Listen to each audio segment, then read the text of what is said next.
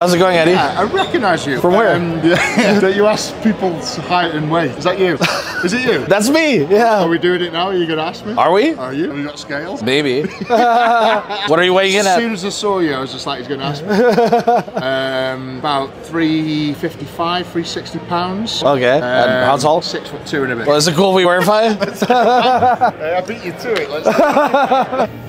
Yeah, literally six two and a half. two and a half. Yeah. Always. I quite love his content. Some people get really upset. It's quite funny. We were thinking you were gonna be the guy today. No. oh, okay. 367. There we go. Not far off. How's that? Good? That's awesome.